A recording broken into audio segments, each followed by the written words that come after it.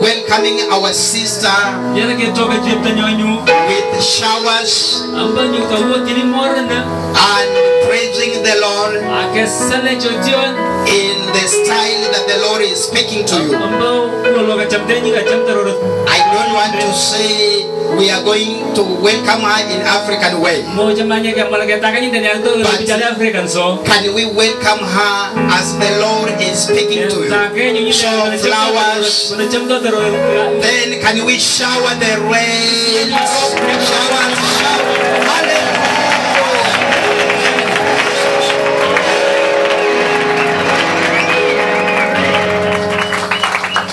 I'm very transparent in leadership. Amwa tingal jo chach nyole wasi bangale chanyoman. And the older I get, the more I realize how transparency is what the Lord desires. Nyoni percini terorot nyileng kilo kucinya le wasi. The enemy hides behind secrets, walo nyileng ni una una unya ke walele tu. he hides behind lies, Cema ke ngala putin dan. he hides behind rumors. Cema ngala cara jangan sem sem jangan lo na walu. So the Lord has been teaching me Ngala nyu terorang ngene ni tele. there's nothing you should be able to talk about in secret Memuja meminyek ngam mungkin ni tengala na unyu tu. that you should not be able to talk about in open. And so I decided to take this time to address some structure changes in Numbayan and Vianzi. ko macam ngune ngal joko wae gisem ka kanya nyete. I have, I have spoken to Apostle about these instructions. ngalang ko apostol mangala jete. I've spoken very little to Ruto, very little because Kangalan chole tu. this is a new ministry, so I have to prepare him. Ambo lo to menyek ngene tak tak menang nginte. But the fullness, you guys are getting the same time. Apa nya tu nyuruh ka pro itu leger. Apostle is the only one who has has knows knows about these things and has approved. Apostol nyong ngala jete leger ugut manta. Ten years ago, Maka chole taman jago ko wer. the Lord gave me a dream. In this dream, someone handed me an African baby. It was so real that when I woke up, I thought I was going to adopt a child from Africa. I told my husband, I think we're going to have an African child. He said, We are done having children. I said, I'm sorry, I feel like we're going to have an African child. Kele ji nyawa mutiam me macha nyomo nga kutu. I, I told my pastor, Pastor, I, I had this dream. I think I'm going to adopt a child from Africa. tele girwoto macha mon nga ngona wala Afrika. He said- Okay. Kemanya pasta nya sawa. And then Pastor Antonio, Kemo pasta nguro Antonio. he called me a few weeks later. Kumburnya tango ko percini de sim. He said, I'm coming from Brazil. I need to talk to you. Amune na lo kuro Brazil macha ngalone ko ni. He flew all the way from Brazil to have lunch with me. Mo na nyundege wala Brazil ta ko lo minyinde. And at that lunch meeting, he said, The Lord has told me to give you the ministry in Africa. And in that moment, I knew it was the Lord. So I went to my pastor because I am not the ultimate decision maker in any ministry. Moji na pasta yambo lo melo agito ma moja nyinde. My senior pastor is my ultimate authority. Nyone pasta yanyu wo nyone nyo kono nyo we shi ngalo wiye ya mewo le mewo. The order is God, Muna lo mitero nyo. my husband, Kongo ponde nyi. my pastor. Kongo nyo pasta nyi. And then I, I oversee many ministries around the world. Asa wa nyu picho chenyu kasi nja kasi njo ye de chamba mo. I asked my pastor, is this okay if CCWC takes Numbayan and Fianzi? Ate ba nyu pasta yanyu lo ka kichenga ile CCWC kanisa wa imbo wono kichenga nyumba ya mfinyanzi. He said, I don't even have to pray. I know this is God. Kila mo so magso nyamba ngitele terora nyoni. So when you take a, an adopted baby, Ato chenga imonu nga nyaga nyaga ba mamo ba chibule. a baby that you did not raise on your own, Nyo mela ke ye nyo. when you have your own child, So tena nyu monde mo bito.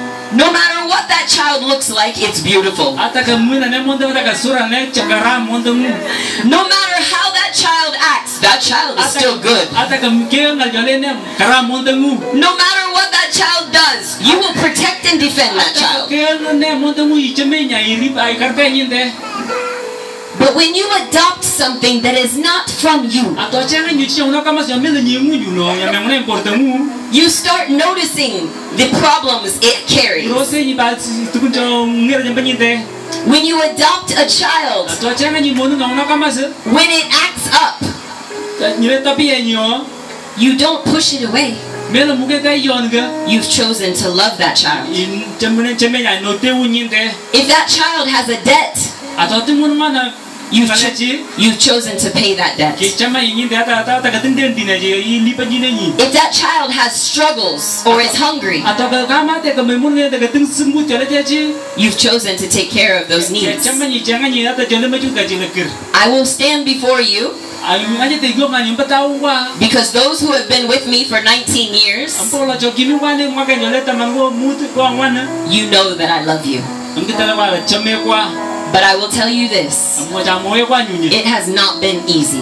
Mela kel kunyo kos kos. It's been very hard. Kunyo ka nger nyoman. Every time I come here, Tongo na chiko lete. a majority of this ministry for me Tongo na ulete. dealing with this problem. Amuna rio mango simu chola achi. There's gossip here. Achi achi chipi cho shelo yi. This church is angry. Kam ka mai. People are fighting. There's not been unity. Maminya maminya nom nyoga pika laga. They're not submitting to authority. Maminya marunge pika mwenye pa nyinde sheria.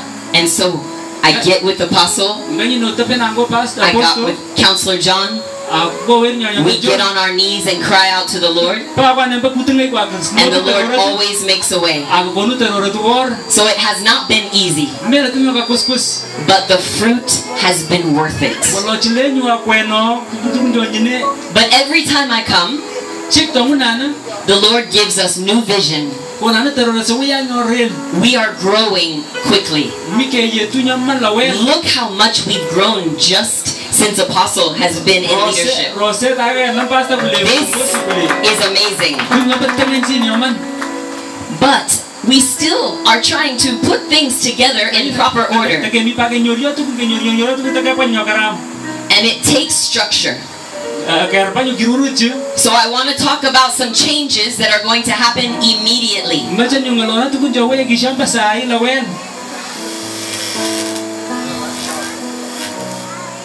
This is going to be a year of discipleship Joran ju jope pete ko lu ku konetan. for pastors and leaders. Strong discipleship. Chole kura chale konetan. Discipleship that not just apostle is going to be a part of, Mela chipa nyo nyole pasta ba gulega. but I am going to be a part of as well. Lakin nyalu kuna ilani. I want you to I want you to know not to boast for myself, Mela nyo yumte na nyilani ngutga. but to give you security. Wala kone wa nyile ripate. I have been blessed to serve under really amazing leaders. Ejera nyo ke kasen bapi bapicho ke ne ya picho karamach. I have excelled in leadership because of my training. Kita sata mbo lo ke wanyo kita sta ke kwa kita sta ngene mbo lo ki wende ke ne gine tu. By the giftings of the Holy Spirit Apa nyo mukula ngatu lo. and the training that He has put me under, Ko ko gine tu chine ki ginyor the. Lord has given me the ability to solve problems really quickly Kita terore ngine wesi nyo wiwa ngalo lo wel. because of training. Apa mbo wana gine tu chine So. I ask myself, Lord, if you could just put me in Africa for one year, Kaya kita pa yung taro taro to temani nya ba Afrika mbo maka ko mano. I will spend all of my time making disciples of the pastors. Leadership training, growth in businesses. Growth in finances. But the Lord has not done that. But my pastor, when I was speaking to him, he says there has to be a way, Angie, other than sending you to move to Africa. He said, What if you meet with the pastors weekly yourself? Atonyoru ya pasta lo wel mbo wenyo. And I said, How am I going to do that? Aweta ga ga neto nyoru ala wel. He says, How do you meet with Apostle on Thursdays? Kinyoru ngiri ama ne ko posa sanya. I said, We get on video chat, Kichengo kanisa ku perapiche yang we, we Bible study, Kene ta ke Bible we go through businesses, Kaya pa nyo beshare. we stay close. Kaya ta pa yo legit. He said, Well, why can't you do that with all of the pastors? Kele nyo ame chengu video nyo ngalana ko pasta ni kulo kirne. I said, That's impossible. They don't have smartphones. And my pastor said,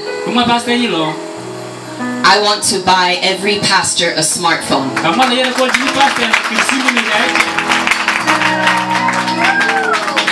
So this is good news and bad news. The good news is we are going to be so close.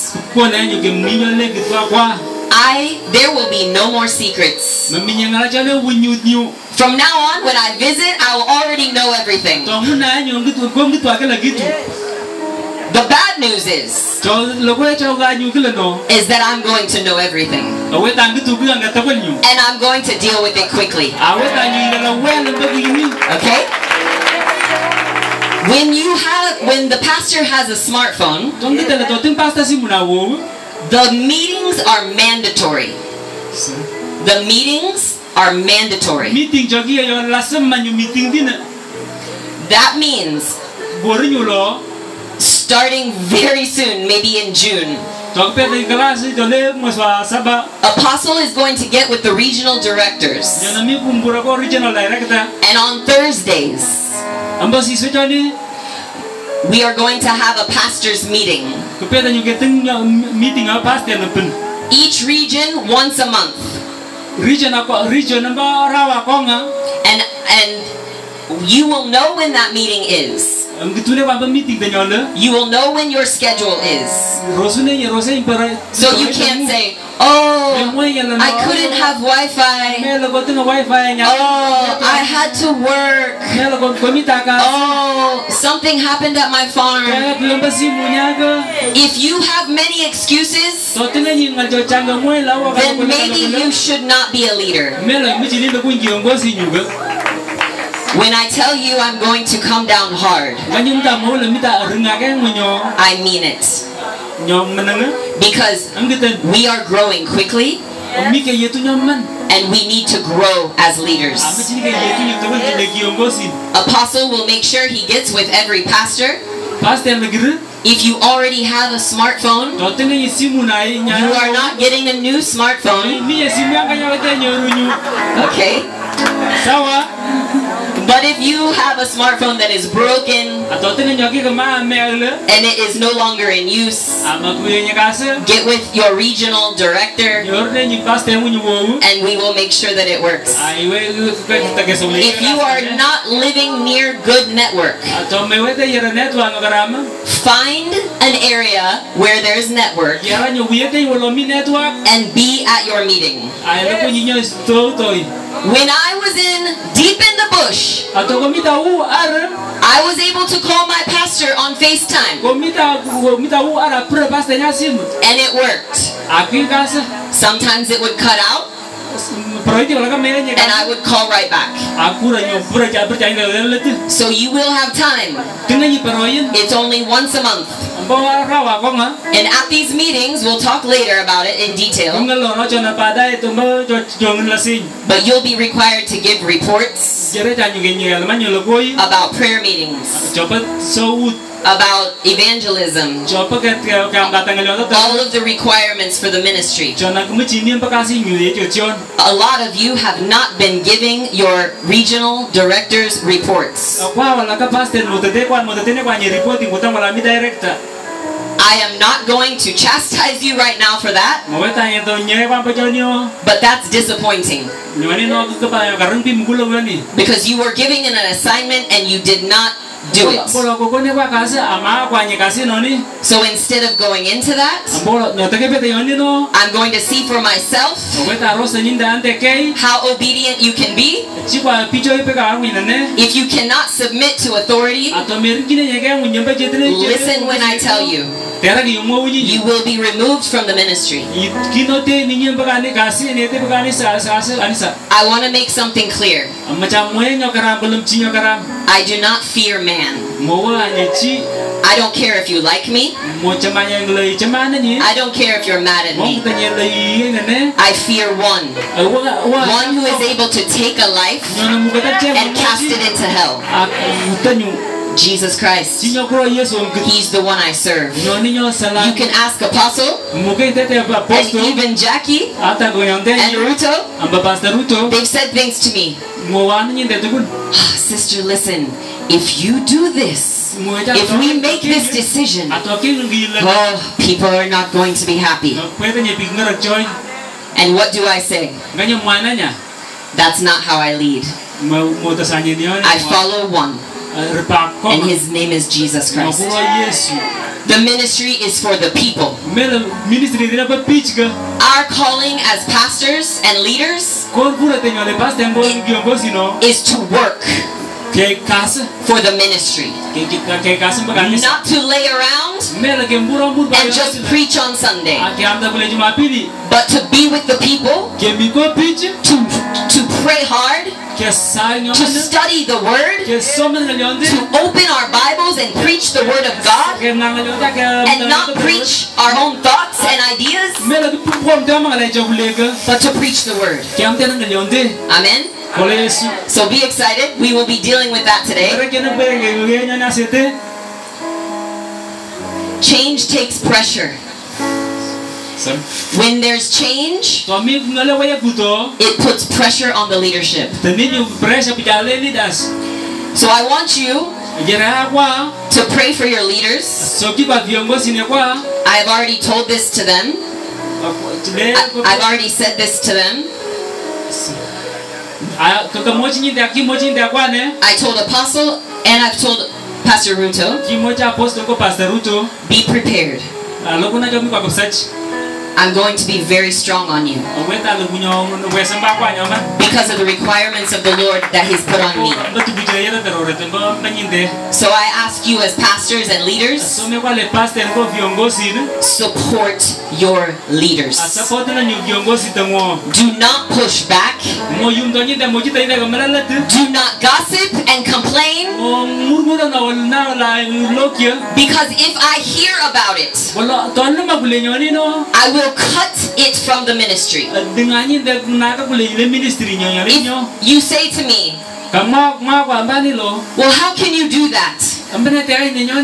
Ambene te ai nyoni. How can you cut me from the ministry? Ambene te na te na ne nyumba kanisa. How can you cut me as the pastor away from my church? Ambene te yona ne nyumba pastor yan ba kanisa. How can you cut me as a as a worship leader or a congregation from a church I've been going to for years? Jinyo mitam tene sumita ye kasi nyo tuma ba kanisa. Well, let me read to you what the Word of God says. soma ne nyumba nyo mo tunga lero teroro tananya. It is in. Ah, forgive me.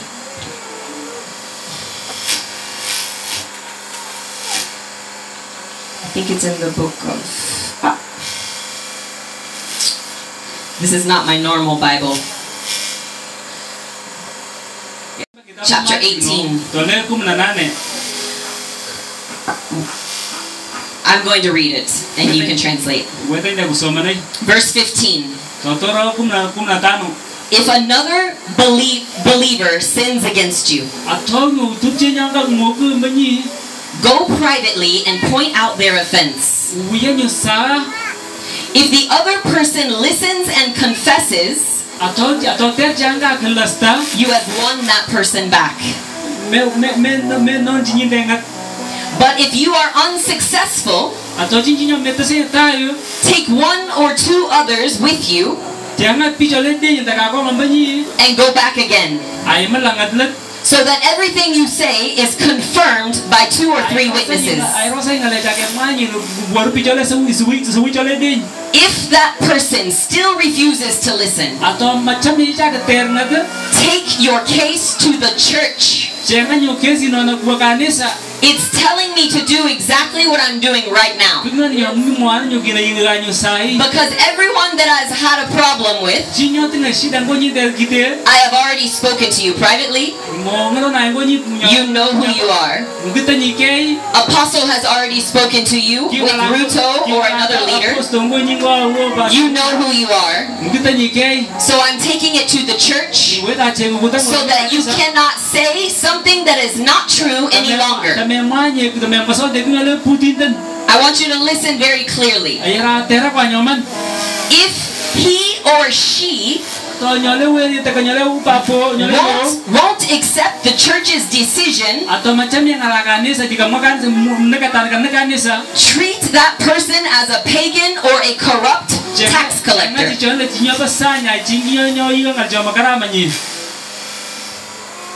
Do you understand? This is how we must lead openly, honest.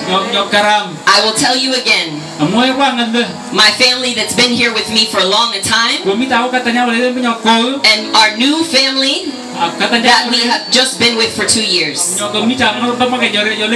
Gossip will not be tolerated. Mo chamanya ngal jile sem sem jingalo no le pun Complaining about leadership will not be tolerated. chona ngalo no kiongozi le mo chamanya ngal choni When a leader asks you to submit to a rule of the ministry to mo unyi pu kiongozi mula yiga ki yai ko nyayo and you push back, ai ta ni yum te ni ki yai it will not be tolerated. mo chamanya mo ta to so man jigi yoni God is the one who delegates every authority. si te teroran ni ki ko ni nyowe shanga to kun So God does not need us to do anything. We get to serve Him. It is a privilege to serve the Lord. If I am cut out of the ministry, someone else will rise up and replace me. So none of us here are irreplaceable. So we can't think too highly of ourselves. me ros kala ji nyo wo ngaman If you want to be in the ministry, to yere imite ka iga kasi nete no the gossip must stop pues tena nyo ngala jale sem sem and you must submit to your leadership.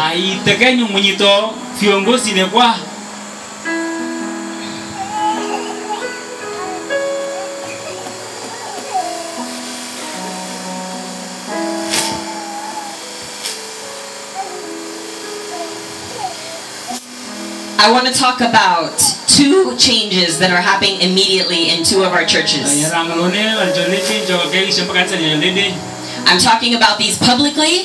Ngalone na jete wala chambi ji so there's no confusion. tamam mison de ngala jo ko ngo ke Two of our churches right now in this ministry do not have senior pastors, kanisa ni jole de maminye pastor je chen.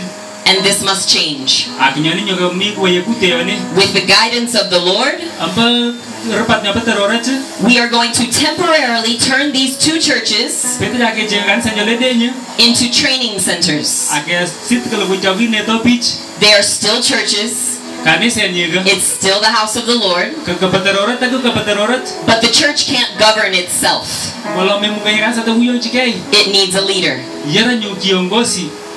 Yera nyo kiongozi So we're going to turn them into homes for, of Bible studies. kita ni nyo wani nyo le kansa jini ko ko wala ki so mana biblia The first church I want to address kanisa nya patayo is Cario Church. nyo pa karia The pastor, we love him. kichame ta pastor nya man pa karia He was available when we needed him, ke rumu nya man to yere tani de but the work ended up being too much for him. Kalau changala chaga mi ko nyinde Pa- uh, It was far away, kalau nyinde and it, it was just too much. chi chang chang le we He only came to service once a month, muna nyo kanisa ambara we amba wan wugi moja wugi ako amba and a lot of times when he preached the word, atom to ngalyo ta terore ti choni it was from his own understanding and not the Bible being opened. mo ngale chi ka mo matani mele mo jo ngo biblia One of the things we will be discussing in this leadership training kunga pe ta ngalo namba wolle ka giongo sa pe ta ngalo nai is preaching the word of God. Jam ta ngalyo ta terore We can add our own ideas, me che mu jole che gung gitu but we the word of God is what changes lives, nyole ngalyo ta terore kule nya we ga mangenyo not our own ideas. Mele jole che ku kule cha kono matungu His heart was good, his intentions were good, chi chi nyo karam nyo mana but he wasn't available for the church to grow. wala may may marum ni de makan sa tadi gitu kan sa ni But God is still so good. That church is still growing. karam terore ta karam kan sa ni And it's growing fast. Aki yetu la well kan sa ni And even they're teaching themselves the word of God. Ata kene ta kwane ngalyo ta terore So we removed that pastor from the church yesterday Kita na jangan deh betul pastor lawan ni. and we gave the goats and the things that belong to the church Kaya nga jangan ror buat tukun jaga pakai sa lagir. to the community to take care of the church. Kaya mau jadi apa jadi And then-.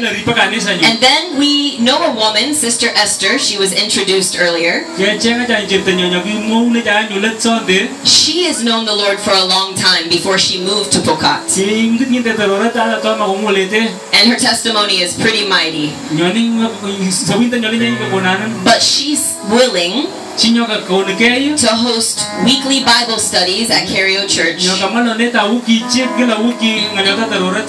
And the beautiful thing is that when she speaks to me, Nyo karam nyo no ketika ngelor mana nyinte no. I can hear scripture coming out. Lemang nganyota terorat tomoy. And I listen for these things. Tera nyo mangal.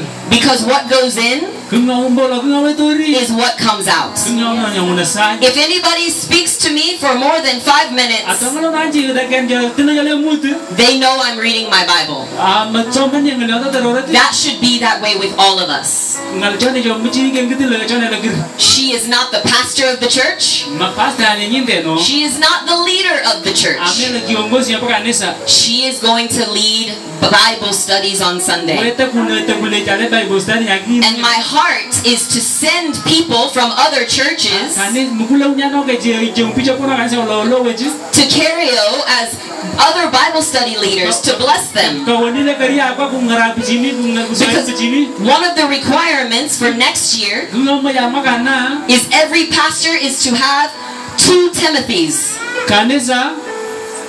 Two Timothys, two men they're training up. Oh, mi kan kila kanisa ya makan na keting picha to training. People they are training up to lead the ministry one day. Jom mi chini ada tahu wajib ke pasta kami picha le danger ministry ni. These Timothys are to get the pulpit every once in a while. Jom pun nga kanisa ile tai ya kau nganyo teroret. I talked to a pastor last night and he said, I have a Timothy, but he's going to come after me. Kamanyo lo kami tangalo ni ko pasta kile nyang unai ata unai letunya. He said, Not before me, after me. Nampai le tahu nya lagi ni walau And I. I said, No, if he doesn't preach before you, Tahu mampu nyom tahu no. how will you know if he's good enough to leave behind? Mesti na nanya muna ko paitan pa boleh let boleh. So you let him preach. Pasti ni tak paham tak. You, you look at his notes. Irosa ni wana le tu ko yika You see how much he studied. Irosa wana mi ku somen tau nganyo Then when he preaches, Atina kam ta nyuno. you take notes. Ichanga ni tu ku kira ni tu ku. Then you meet with him. Air yang ngai nyinte. You should read more scripture. Imoji le somen jo. You Kita jo chang. ask people to open their Bibles. Ke moji moji le pe Train them up. But it would be good if our churches would send your Timothys to Cario Church. Give Give them an opportunity to preach to a congregation. These are some of the plans that we have. Someone, someone will be in contact you, with you, even if you yourself go there to preach, to put you on a schedule. But the Lord always provides. Amen. The second church that's going to have changes immediately. Moi's Bridge Church. Kanisa nyapo wala kura Moi's Bridge. Now this church is close to my heart Kanisa nete ko sa walaki kaya karambang gula unyan. because my brother and counselor John Kimayo started this church. Wen nyanyo ni kakunyin de kitora sa ni. But this church has been through many changes. Mi nyu waya kute jo chang pa kanisa nete. And change is hard. Aku ngongera nyoman. Some of the leadership had fell away. Wala ka nyo norja wala ka pedal fiyon ko si wala ka rja. There, and it wasn't the congregation's fault, Mela nyo le pichi ka cham nya pa nega. but the congregation suffered from it. Wala nyo ka manyo pichi le picha chang nyen de. Pastors, when you fall, Pasta to chen de nyo. your whole congregation hurts. Ata nyo le kanisa le kiro. So as you lead, Tomite tomite pasti paitene. as you are leading, Tomite paitene pichi. you lead for your families and also your oh, congregation. Changes happen in this church because the enemy hates this church. He wants it to fall. It's a powerful church, and he doesn't want it to work. Rumors started stirring in this church. Chang lagoi jale jale sem sem pa A lot of gossip in this church. Chang chang mangala chang lono kay. And I'm not mad at this church. Ang kita nyaman kan sante. But just like the book of Matthew that I read, Leta le kita berapa maju yang iso mana tayo. I have spoken to these people. Kang ngalana ko pecini. I know our leadership has spoken to these people. Kata li viongozi mejoke ngalang ko pecini. Even John Kamayo, when he was the apostle, spoke to these people, Posto nyana ki ngalang nyana kita kol. and nothing has changed. Awalot tengah wae ka pecini. Lies have stirred. I want to even confront one recent lie that I heard. Macam mue ba putinten jago nyori ya. And I already spoke to the person it was lied about, and he said, This is not true. Akari ama ko cinta ke lagi cina mamman dia baga. Last, I heard that last Sunday, Bukin ada cuma pilih apa yo. Silas got from the pulpit Kiwa Silas wala kan and claimed himself the pastor. Aku man yung yintera pasta. This is not true. Aku malah mamman ni. I had someone ask Silas, Kenyor wanyu jaga tep and. Silas said, No, Kamu yintera wo. I would not say that. Mau wanyu nyoni. This is how rumors happen. Tony cile yung ngalai resa. Because Silas is not the pastor of this church. Kalau kemana kalau mila pasta kan sana itu. In fact, I placed a pastor in this church. Ambil lo well ini tanah pasta yang A very capable pastor in this church. Cuma kenyo bakasan bakani sana. And when I left, Tina kiwa yung yintera. the congregation removed the pastor. Kepala ku ngai pijala kira ku tahun pasta nai. No one gave anyone authority to remove a pastor. Tadi yang kita wes pijai ku tahun jijai.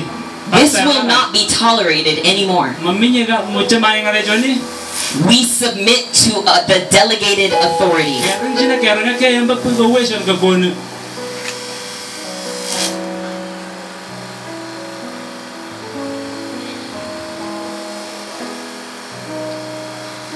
I promise you it will end well.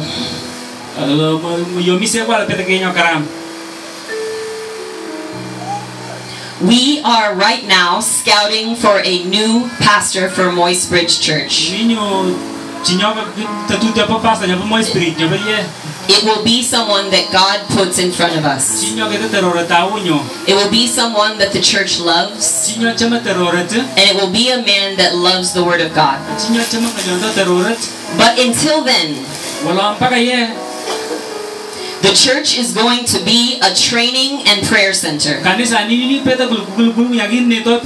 This, just like Cario Church, Le kanisa apa kerja kerja. will be a place we send Timothy's to preach the Word of God. Ine giyon dene jamun jam pitch mungkin cepat pam tahu ni. That we send pastors to preach the Word of God when they let Timothy's preach in their own church. Giyon dene jap pasta yang to miam to pitch na mungkin to kolam bori. And for the next six to seven months, Apa makai arawan jole mut We- mut ko samaga. we will be watching these pastors. Kiro se janyo pasta ni juga kita ori. We'll watch their lives. Kesa uja mangengwa. We'll watch how they preach. Kero se lom toy. And we'll let the Lord decide. Awan na yung kesa uja yung lom. I had.